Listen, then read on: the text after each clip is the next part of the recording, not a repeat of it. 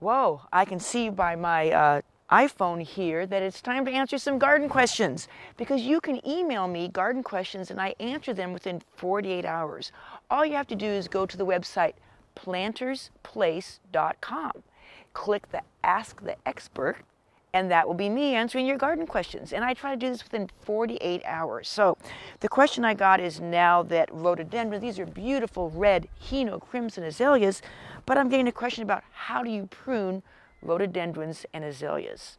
And first of all, when I see these little bare poodle dog tails sticking straight up on the rhododendrons, now azaleas are usually smaller leafed, but they are still members of the rhododendron family.